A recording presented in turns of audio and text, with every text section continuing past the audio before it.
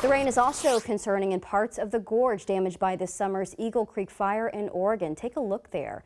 There's a debris flow warning in effect right now for I-84 between Troutdale and Hood River. Officials are worried that more trees and other debris could also slide downhill today.